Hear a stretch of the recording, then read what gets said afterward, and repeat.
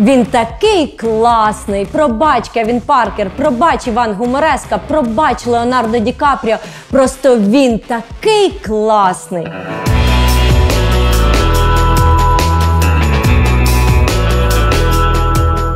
Він це Лесь Курбас, геніальний режисер, актор та новатор українського театру. Лесь Курбас е, був надзвичайно красивий чоловік. Це є у всіх мемуарах. Описують, що він був дуже красивий, дуже привабливий, стрункий, високий, підтягнутий. Але е, крім того, що він був зовнішньо привабливим, він був надзвичайно. е, Красивою внутрішньою людиною. Уроки фехтування, гімнастика, лекція про теорію відносності Ейнштейна, акробатика, постановка дикції, філософія, рисунок ролі та мімодрама. Це лише частина курсів, які проходили актори мистецького об'єднання Березіль, яке заснував Лесь Курбас. Як жила і творила молода українська богема в першій половині ХХ століття, і як Лесь Курбас став революціонером театру не лише в Україні, а й в Європі. Розбираємо неймовірну пригоду під назвою Життя театрального генія з дослідницею творчості Леся Курбаса Іриною Зубченко. Курбас висуває важливу для себе думку, е, формулу ідеального актора розумний Арлекін, який би поєднав собі інтелект з високою технічною досконалістю. Він формулює важливу таку для себе. Місію і е, таке зерно театру українського молодого, що театр має бути український за своєю суттю, е, національний за своєю суттю і європейський за своєю формою. За своє 50-річне життя Лесь Курбас створив сім театрів. Був режисером трьох фільмів. Перший в Україні створив музей театру. Курбас зробив такий великий внесок у розвиток театру, що це можна було б з чимось порівняти, але краще не порівнювати. Бо це як Валерій Залужний, але в театрі. Життя Курбаса цікаве з самого народження. Щойно з'явився на світ і відразу почав чудити. Народився 1885 року у Самборі на Галичині, яка була у складі Австро-Угорщини. Його батьки Степан та Ванда мандрівні актори. Курбас був дотичний до театру з народження. Він гастролював з батьками, виконував маленькі епізодичні ролі.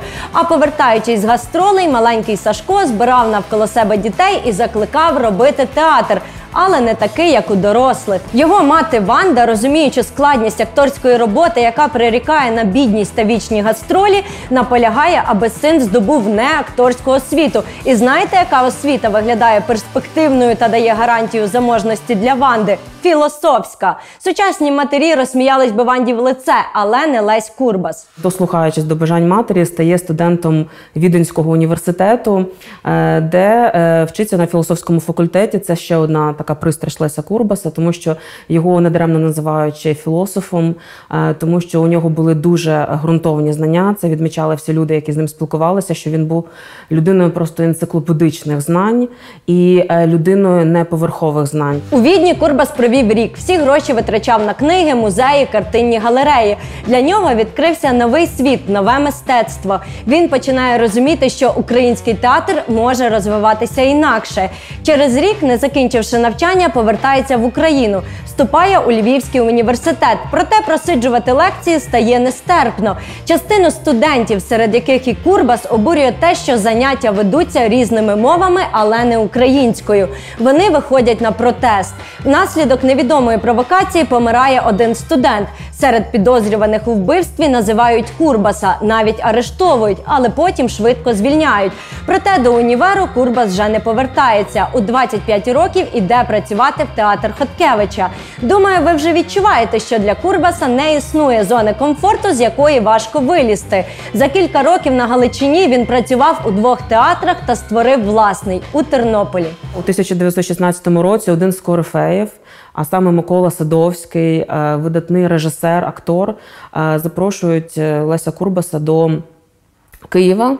І він ем, погоджується, тому що вважає, що в Києві можуть відкритися для нього дуже великі перспективи. І так воно в принципі стається, тому що ем, Київ, е, як в баченні Курбаса, може стати тою культурною макою, до якої в якій може народитися щось нове. Ну і в Києві понеслось. Спочатку успішна робота в театрі Садовського, потім створення студії молодих акторів, яка переросла в молодий театр. Потім робота на одеській кіностудії, де він створює три кінострічки. Ну і звісно ж, МОП мистецьке об'єднання Березіль. Лесь Курбас був високоосвіченою людиною. Його підхід науковий. Він вважав, що актор не може покладатися на талант та стихійну акторську майстерність. Вони мають навчатися все життя і працювати, покладаючись на знання. Його учні згадували, що під впливом їхнього наставника їм хотілося проковтнути всі книги, цілі бібліотеки, картинні галереї. Мистецькі пошуки Курбаса виросли на ґрунті української революції 1917-1921 років. Це був справжній подих свободи, можливість самовираження, українізації, адже це період української держави. Перші два роки молодого театру ніхто не отримував зарплатні. Всім акторам було до 30 років, що виправдовує назву молодого театру. У всіх книгах та спогадах учнів Курбаса описують як дуже красивого та розумного чоловіка, який закохував людей з першої ж миті. Але тут не буде розповіді про оргії митців сигаретному димі серед розкиданих порожніх пляшок. По-перше, швидше за все, Курбас не курив. По-друге, він зрідка пив. А якщо і пив, то біле вино зі смаженим солі мигдалем. Перша закоханість мало не закінчилась самогубством Курбаса, але самогубство виявилось невдалим. Куля пробила груди і застрягла фактично в нижній частині серця. Лікарі так і не змогли її витягти, тож Курбас жив з кулею в тілі до кінця життя. Друга його кохана балерина та акторка Валентина Чистякова. Курбас побачив в ній талант, взяв до свого театру, навчив етнічну росіянку української мови, і Чистякова грала україномовні п'єси без жодного акценту. Вони прожили все життя разом. Коли Лесь Курбас закохався у неї, то е, колектив молодого театру став помічати, що Лесь Курбас почав запізнюватись на репетиції, що для нього взагалі не було характерним, тому що він дуже відповідально до цього ставився. Що він трошки вітає десь е, в хмарах. І вони помічали, що такий вплив має на нього Валентина Чистякова, бо він в якому в якось своєму щоденнику написав про неї, що вона божественно красива. Тобто він дійсно був дуже нею захоплений, дуже в неї закохався. Але ем, молодотеатрівці ревнували його до Чистякової, і вони вважали, що в якийсь момент Лесь Курбас може настільки нею захопитися, що він кине театр і, зокрема, може поїхати в Москву. Вони навіть е, через це у них була ну таких напівжартома, напівсерйозно. Вони говорили, що вони навіть хотіли вбити Чистякова. Повернімося до головної пристрасті Курбаса театру. Трупа молодого театру переїжджає до Одеси. Уявіть собі картину: 30 митців живуть комуною. Щоранку плавають в морі та роблять гімнастику, репетирують до вечора просто на подвір'ї школи та готують вечерю на печі, яку змайстрували саморуч. Курбас тоді сказав. Будемо репетирувати на очах непроханих свідків. Зумійте так увійти в стан дійової особи, що жодні трамвайні дзвінки, репліки обивателів, розваги дітей нам не заважали. Вони для нас не існують. Вдалося! Колектив репетирував паралельно 5 вистав. В серпні 1918 року всі повернулись до Києва, але вже наступного року столицю захопили більшовики. Молодий театр фактично закрили, вигнали з приміщення, а театральну трупу перевели до театру імені Шевченка. Попри незадоволення ситуацією, Курба ставить спектакль алегорію Гайдамаки, який стає одним з найвизначніших досягнень українського театру ХХ століття. Після колосального успіху вистави Курбас припиняє роботу в театрі Шевченка та береться за творення синтетичного театру. Синтетичний театр це театр, який поєднує в собі всі види мистецтв: живопис, скульптуру, музику, хореографію, кінематограф, пантоміму, а ще грим, сценографію, костюми і навіть дизайн афіш. Пам'ятаєте про численні курси для акторів? Настав час показувати результати. Дійсно дуже важкий період у Києві, тому що важко там працювати, тому що насуваються голод, голодні роки, і Курбас, щоб зберегти ядро колективу е, молодого театру, тому що це ядро колективу все-таки зберігається. е, Він вивозить своїх акторів до так званих, як про це кажуть, ситих міст, де можна було ще е, вижити, можливо, десь отримати гроші, але і глядачі, які приходили на виставу, вони часто приносили якусь їжу, щоб прогодувати акторів, допомогти їм. І це період його роботи в театрі Київдрамте. І в цей період Лесь Курбас е, теж звертається до багатьох вистав, але зокрема такою важливою в його е, в цей період це є вистава Макбет, за яку він ставить за е, п'єсою Шекспіра. Роль Макбета виконував сам Курбас. До речі, Шекспір в українському перекладі з'являється вперше саме завдяки Курбасу. Він знав вісім мов. Це давало свободу у виборі п'єс, адже перекладав їх самостійно. Робота в Київ драмте, хоч і була продуктивною, та не задовольняла нашого режисера. Адже мандрівному театру важко бути довершеним, як того прагнув Курбас. Театр перестав існувати в 1922 році. Давайте знову згадаємо про історичний контекст. В Україні остаточно встановлюється влада більшовиків. Спочатку Курбас занадто оптимістично сприйняв ідеї більшовицького перевороту. Втім, цю помилку зробило і багато його сучасників та друзів. Наприклад, його близький друг Павло Тичина.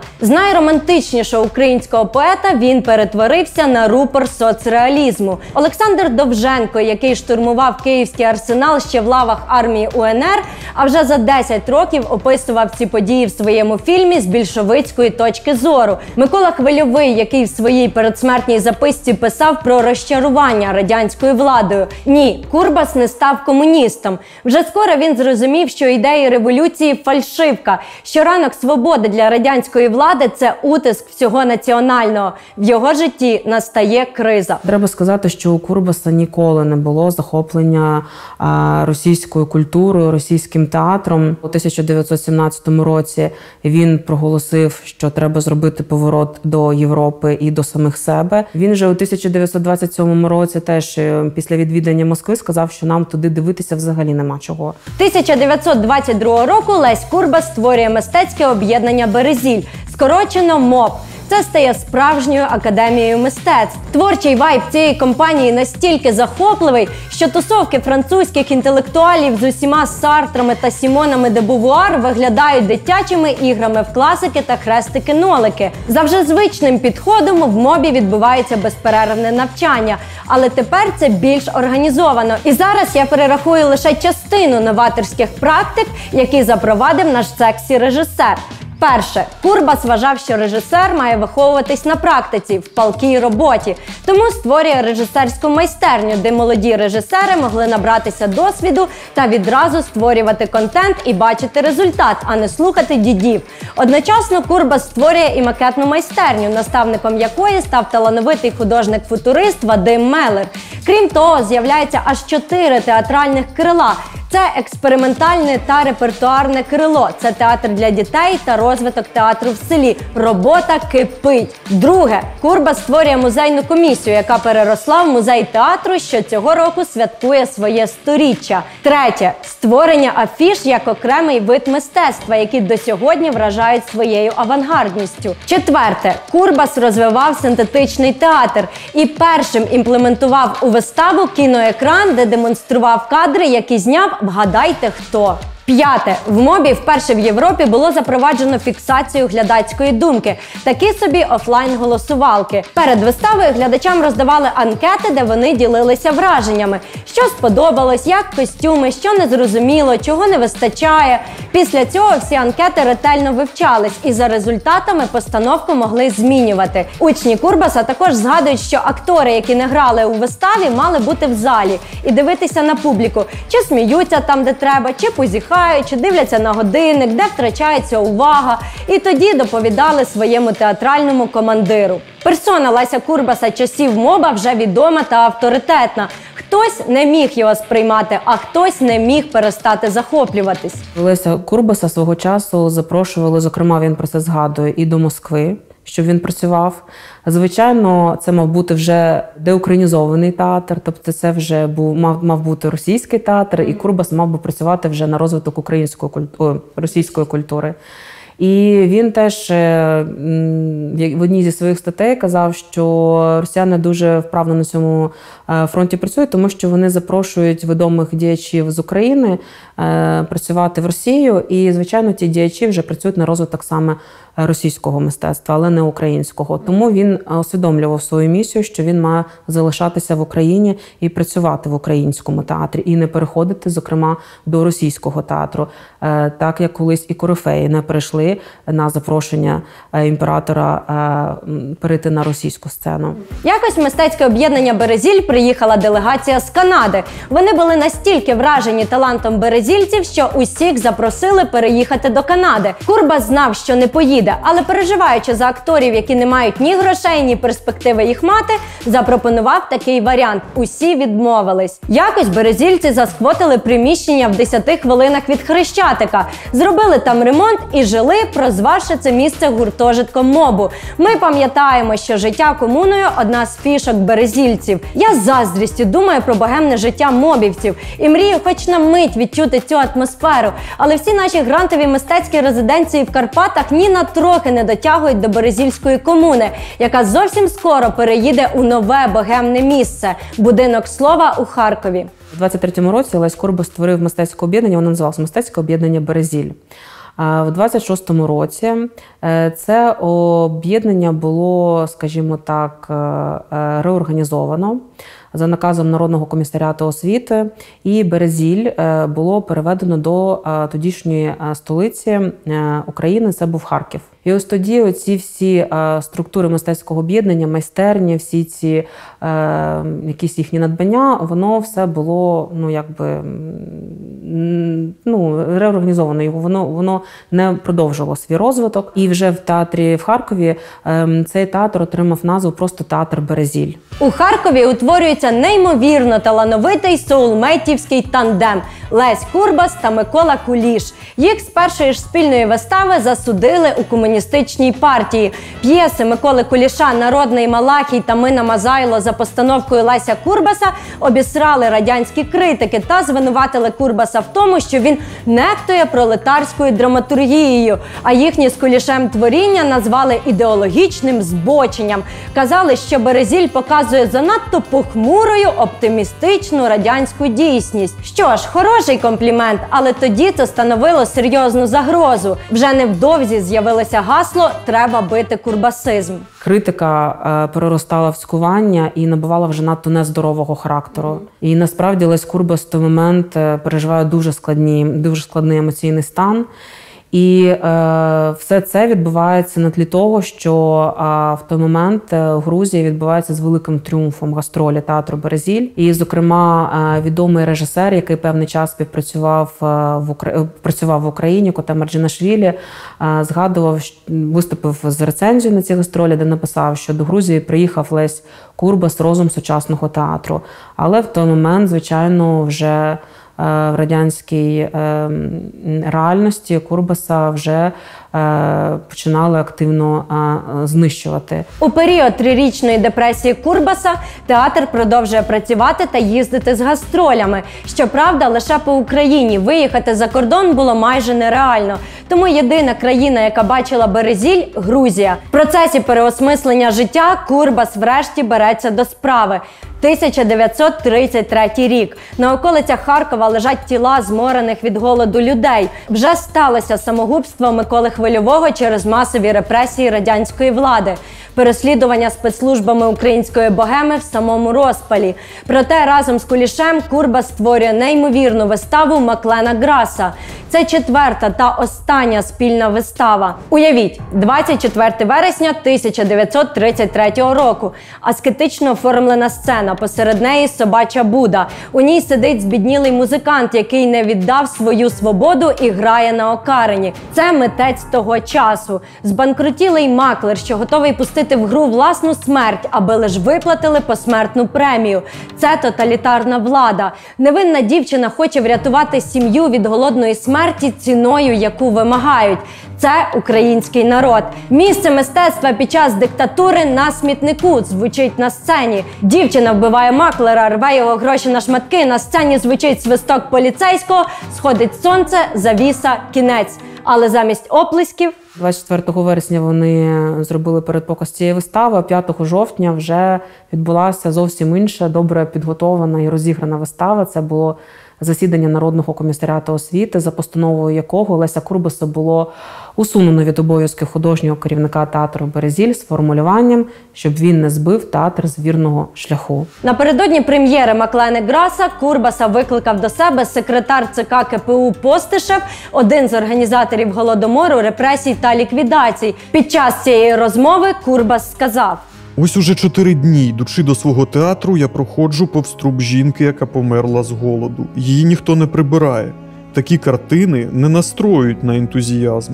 Курбаса зняли з посади очільника створеного ним же театру за український буржуазний націоналізм. Далі його чекали арешт, заслання, а згодом і смерть.